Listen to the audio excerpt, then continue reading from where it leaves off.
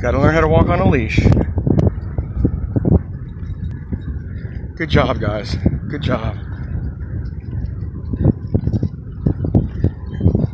Kimba, Kimba at almost eight weeks, and the agitator, Tater Tot, at I think about 11 weeks.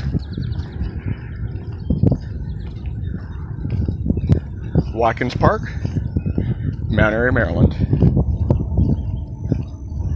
Good job, guys. Good job. You too, Becca Boodle Doodle. Alrighty?